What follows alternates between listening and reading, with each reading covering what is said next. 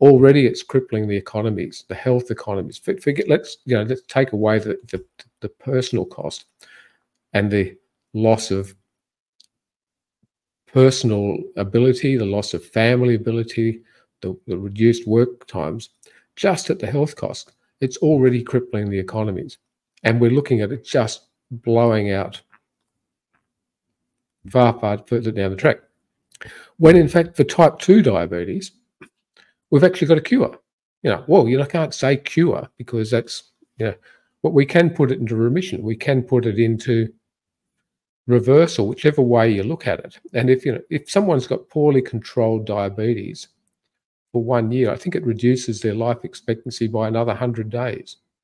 You know, I think that's a rough figure. I mean, I, think David Unwin refers to it, but it's yeah, it, it's quite clear. The moment you have poorly controlled diabetes, we know that all health outcomes at a microvascular level just cause tissue damage, whether or not I use the term the Maillard reaction, which is a cooking term.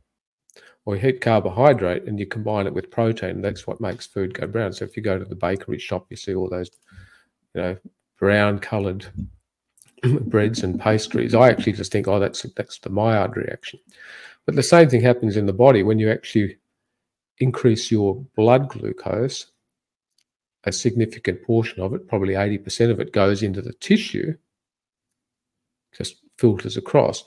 And in the tissues, that glucose combines with the protein under the effect of body heat, and you're effectively toasting every organ where that occurs.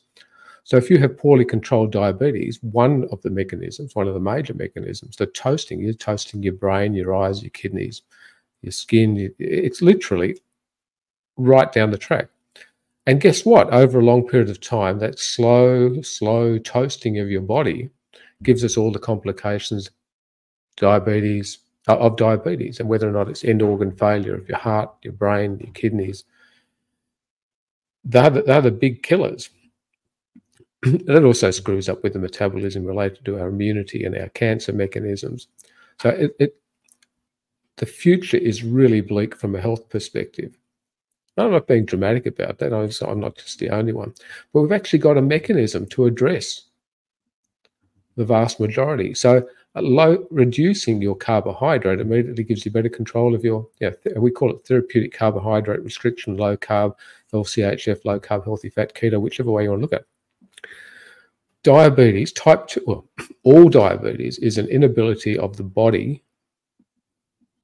to control the blood glucose based on what the body eats. So in type 1, you don't have enough insulin, so therefore you actually can't produce insulin to, to look after the glucose which hits the body. And in type 2 diabetes, you don't have an effective mechanism. You develop a state of insulin resistance, so the insulin no longer can actually maintain that blood glue, can keep the, get the blood out, sorry, can keep the glucose out of the bloodstream as soon as possible. I think we look at carb, everyone says, "Oh, glucose is essential for life," and I actually think we a tiny bit is essential for life, but the excess we're putting ourselves at risk with is causing so much damage. That talk's called carbohydrate, the dose is the poison. Four grams, one teaspoon of glucose is enough to have a detrimental effect on your body, which by is the definition of toxicity. When something has a negative impact on a system, that's called toxicity. For example, one slice of bread has five teaspoons of glucose in it. So literally at one teaspoon, we are seeing a detrimental effect on the system. My perspective is that when you eat glucose, the body does everything in its capacity to get it out of the bloodstream, which sort of makes sense because when in nature, whenever we were able to get it, which was seasonally available fruit, was the time of plenty, and it was the time that our bodies wanted, ate all this sugar and carbs to store it as fat for winter hibernation. All animal life actually survives on the thing called the Krebs cycle, which is where nutrients or food, carbohydrate, protein, and fat is turned into acetyl CoA, so we generate ATP, adenosine triphosphate. It is the mechanism of life. The Krebs cycle, you can't argue with it. Um, and it doesn't matter if you're a, a bird or a, rabbit or a bear or a human, uh, we're all using the same Krebs cycle. Each animal species develops different pathways to actually work that efficiently. And our pathway is actually our preferred fuel state is our is actually protein and fats, not carbohydrate. We actually get carbs out of the bloodstream as soon as possible.